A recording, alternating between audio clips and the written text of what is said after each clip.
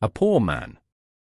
One day a poor man entered the restaurant, people were looking at him with disgust because of his ugly appearance.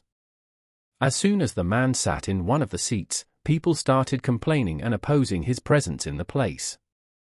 Maria greeted the old man with a gentle smile as if he was a regular customer and said to him, My name is Maria. If you want anything, I am here to serve you. The old man felt an inner joy because of the girl's kind treatment of him and thanked her very much, because she treated him as a human being, not as a beggar.